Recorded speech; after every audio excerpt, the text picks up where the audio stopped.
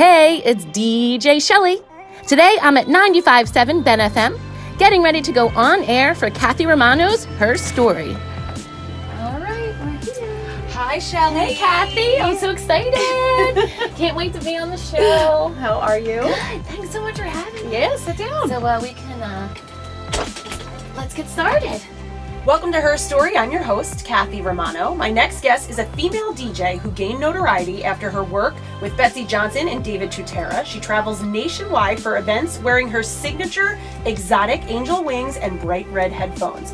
Michelle Lee, also known as DJ Shelly, currently DJs events for MGM National Harbor, Philly Magazine, Philly Style Magazine, Bare Minerals NYC, and the Philadelphia Flyers.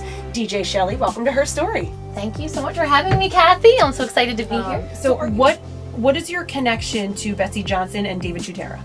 So, about a couple of years ago, when I decided to go full time, I was just really into making sure my website was top notch, that I was doing all the keywords, you know, to help people find you. And, and one of the biggest things I decided to do was really push myself as a female DJ because I knew that was something that made me different and made me stand out.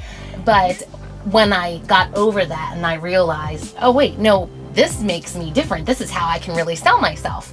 So I started just really pushing female DJ, female DJ. You know, started doing different things like wearing the red headphones to kind of make anything to make me stand out and be different. And Betsey Johnson's people found me on the internet. And she was coming to King of Prussia to do um, to, a launch of a new clothing line and they had looked at a like tried to find a guest female DJ and they found me and they were like, oh my gosh, Betsey Johnson thinks you're perfect. Will you come DJ her event at King of Prussia Mall? And I was like, oh my god, Like, Yes. oh, let me think about it for a second. Okay, so it was so fun, and she is just she's so super fun and amazing. Like you, could, as soon as you meet her, you just see why she has so many followers. So it was like so awesome. And then David Tutera, the first year, uh, uh, I had a design company, JDK and Atomic Designs, a production design company and caterer who wanted something different for their booth area at David Tutera. And they were like, hey, we know that female DJ. Let's see if she'd be interested. It'd be something like cool and different we could spin on the event. So they had me, and then the next year, the David Tutera team actually asked me to come back and be a part of their fashion show through my agency, which I now work with, East Coast Entertainment, um, put all of their entertainment together. So it just ended up coming together and was just really pretty awesome that I was asked. At the, both years, I was the only DJ there. That's right. Just um, you've traveled to different parts of the country to do events. Tell me about some of the events. Yes. Well, after I decided to go full time, I really was just doing everything I could to get my name out there, network, work on my website. And, you know, when I would decide to go full time, I was scared to death. Like to leave my corporate job, to leave any other source of income and just pursue my business. But after two years, um, I started just attracting like a lot of clients, whether they were looking for a female DJ or they were just looking for someone who was fun and upbeat and like a, a skilled MC. So I ended up finding a company. To, I started working with them. I DJed an event for them in New York. It was like a football themed event. Uh, they're called CTC events. And after I did that event with them, they just loved me. And they were in Puerto Rico and randomly called me on a Wednesday and said, Shelly, we don't like this DJ down here. like, it's just not our style for what we're going for. Um, can we come down?" please have you come down here, you know, whatever it takes? So it was February in Philadelphia. And I'm like, again, twist my arm to come to Puerto Rico and, you know, in February. So I got to DJ on a private island. It's called Palomino Island. We literally had to take, my, my assistant Nathan Abarta and I had to literally take a ferry across from the resort to the private island to like do our DJ thing. Wow. So that was really cool. So that was a big part of the start of it. I'd already been traveling to DC and New York a lot um, because my agency that I work with, they also have offices in DC. So I, I'm actually sometimes in DC more than I'm in Philly. And then from there, um, I have another show, um, possibly booking. I just talked to them this morning. Uh, one of my clients that want to bring me out to Las Vegas. And Oh, that'll be fun. yeah, so I kind of go all over. I've been to North Carolina and Texas, which was pretty awesome. I had a private client fly me out to Texas for an event in Dallas, so that was awesome. and and then um, in next month or in July, actually, I'm going to be DJing in LA. So What was the office job that you left? So funny. So I was in the. I worked in financial institutions. So I worked for Merrill Lynch for a number of years, and then I, I worked in pharmaceutical. So I always say that like I wish I would have gone full time sooner. But I guess everything really does happen for a reason because I gained so much knowledge about marketing and about how to run a business. Like I do have my degree in business management, but I feel like there really is nothing like hands-on experience working. And what type of events do you do? I do all kinds of events really since I do this full time. I do social, I do after parties, um, I do a number of public events a year, like MGM uh, National Harbor hires me through my agency to do a lot of their public events. And I do a lot of weddings, corporate. It's pretty much just a little bit of everything. Okay. Um, and can you explain? Let's go into your look and kind of your, Okay. your, your signature look. First, explain the wings. So the wings are so much fun and guests just love them and I really had no idea how big they were going to become. I think they're bigger than me now. So I DJ'd an event for my agency, um, East Coast Entertainment. Um, one of my agents down there, Jennifer Langer, was uh, contacted me and said, "Hey, we have this super cool event that we're we're putting together. It's a heaven, hell, and purgatory, pur- purgatory, Purgatory.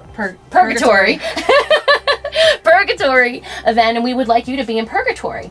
So i was like well wait a minute. If anyone's putting me in purgatory i am rocking this you know this floor out because it was three floors. That's why they did that. So i decided to get uh, i was like you know i'm gonna wear wings. So cool like with the whole theme. So i got these gigantic black wings and they just looked awesome and people were just coming in like wow. And i think i just saw the guest reaction so much that like they just loved it. I was like i wonder if i could just start wearing these all the time so I did, not for every event, it depends like what the client's looking for. But I started pushing that as this is just another thing that can make me stand out and be different. Um, and then I just love, I love like the whole theatrical part about it. You know, like I love acting and drama. So I think I just, any costume or thing that I can put on to make an event fun, I'm just all about. So I started wearing the wings, and all of a sudden I just started getting jobs. People contacted me because they wanted me to wear the wings to their DJ job. I even have weddings now, which I never thought that they were going to take off for the weddings. I really was just trying to use them for more corporate or my public events. I know the brides are like, "No, we want you to wear the wings." like, You just did a wedding this weekend. Did you wear the wings? yes, the two weddings I just DJ'd, I wore the wings. But now you said they were black wings. The picture I saw, they were white wings. So I do coordinate my wings Okay. with the event.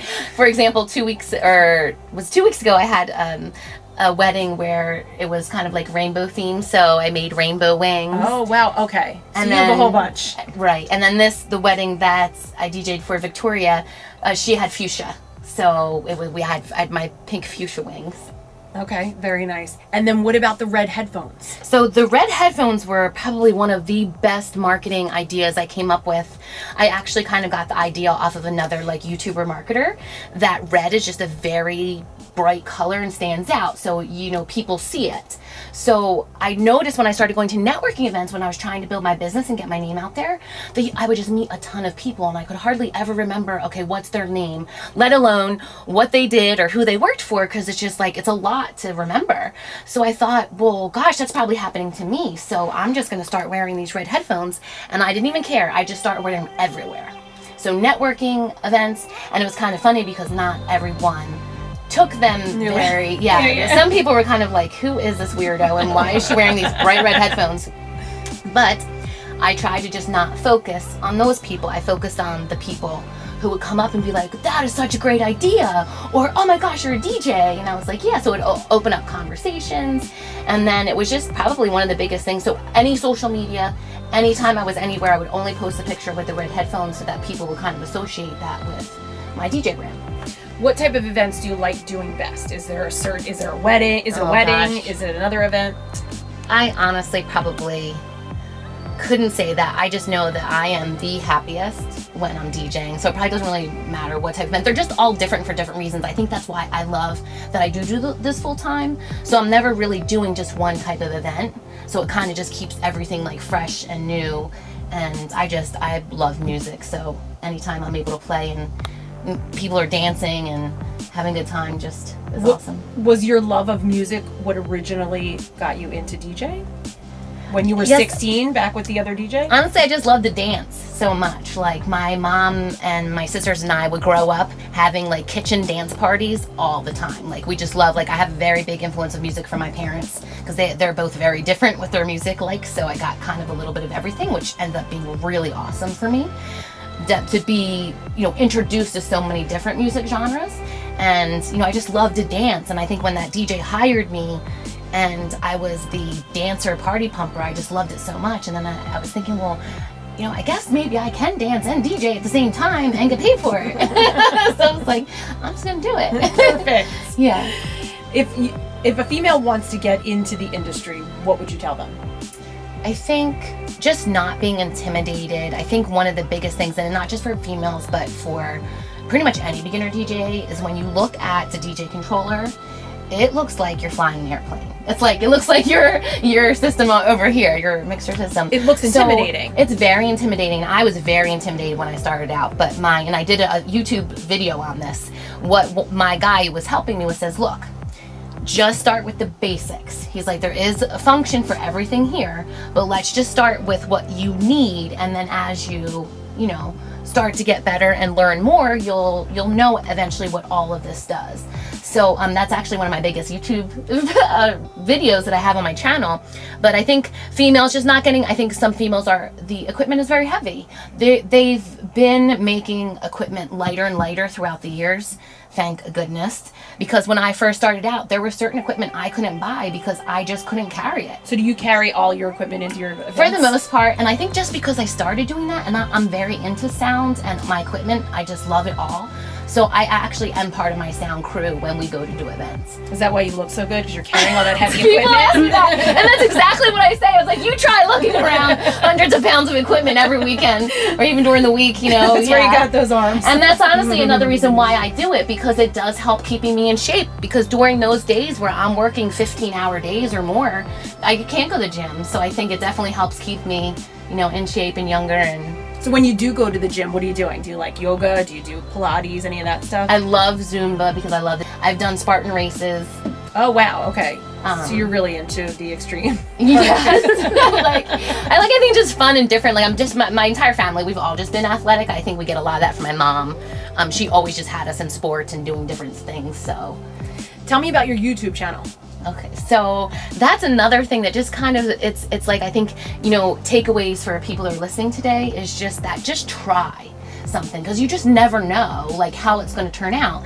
So my friend and I um, I started doing doing my DJ thing full time, and I was just kind of talking to another I guess colleague or a marketer YouTuber who just suggested like okay you're you're doing you're showing pictures of your events but you're not really bringing I guess good quality content to your videos and you're you are so good at what you do you need to start teaching other people or that this this could be another way to help you grow your business so I was like okay that's a kind of a good idea and I always love training I did training with Merrill Lynch and I was like you know what I think that's something I could do so I got together with a friend of mine uh, Bert Toast with Bert's Eye View give him a little plug.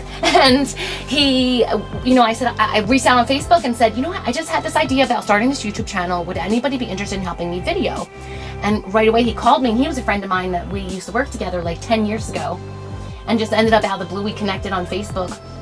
Started the channel with one of the most simplest videos ever. I was just something that I didn't know. So I was like, well, if I'm going to do this video, like, what do I do it on? And, and then it was um, the difference between passive and active speakers.